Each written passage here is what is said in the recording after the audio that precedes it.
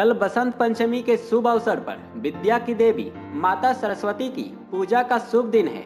इस अवसर को खास बनाने के लिए पतरातू एवं आसपास के क्षेत्र के कई नामी गिरामी, मूर्तिकार, माँ शारदे की प्रतिमा को अंतिम रूप देना प्रारंभ कर दिए हैं। जैसा कि सभी को पता है कि कल बसंत पंचमी बसंत पंचमी के दिन विद्या की देवी माता सरस्वती की पूजा की जाती है।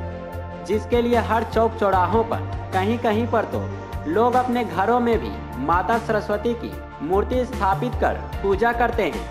आज का दिन उन मूर्तिकारों के लिए काफ़ी खास और महत्वपूर्ण है, क्योंकि उन लोगों ने आज माता की मूर्ति को अंतिम और पूर्ण स्वरूप दे दिया है। पतरातू, भुरकुंडा, रामगढ़ क्षेत्र ही नहीं, बल्कि देश के हर कोने में माता शारदे की मूर्तियाँ स्थापित कर लोग काफ़ी धूमधाम से इस पूजा का अनुष्ठान करते हैं। खासकर विद्यार्थियों में एक अलग ही उमंग देखी जाती है।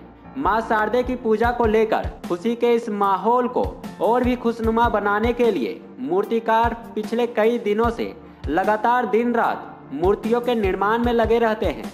काफ़ी मेहनत करनी पड़ती है। वे तब जाकर मूर्ति को अंतिम स्वरूप दे पाते हैं। जिन मूर्तियों की हम पूजा करते हैं उनके पीछे मूर्तिकारों का काफ़ी मेहनत छिपा रहता है जिन्हें हम देख सकते हैं कि माँ शारदे की विभिन्न प्रकार की और बेहद ही खूबसूरत मूर्तियाँ इन मूर्तिकारों द्वारा तैयार की जाती है। अलग अलग रूप अलग अलग स्वरूप में माता को दर्शाते हैं यह मूर्तियाँ। न्यूज़ लेंस के लिए पतरातू से राहुल पाठक की रिपोर्ट। कहाँ से हैं पुरलिया बंगाल बंगाल। कितना दिन से आप लोग यहाँ पर रहते हैं? कितना दिन पूरा काम हम लोग करते हैं? रहते हैं यहाँ पे एक महीना मान लीजिए एक महीना दस दिन या बारह दिन। कौन मिट्टी का आप लोग प्रयोग करते हैं माँ का? ये जो मिट्टी है हम लोग लाते हैं जो कुम्हार वाला जो मिट्टी नहीं हाँ। चिट्टा वाला मिट्टी वही मिट्टी से काम करते हैं। और एक तो बालू वाला मिट्टी मिलते हैं हम लोग को तो इधर तो नहीं मिलेगा इधर तो बालू आते हैं।